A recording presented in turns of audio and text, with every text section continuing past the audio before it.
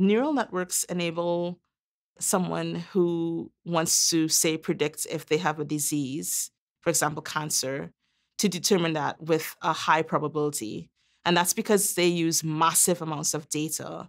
And instead of using just a couple images, you can use all the images or all the data in the world that you have that pertains to determining if someone has cancer or not, which is really great. And because you have a better chance of determining if that's correct or not.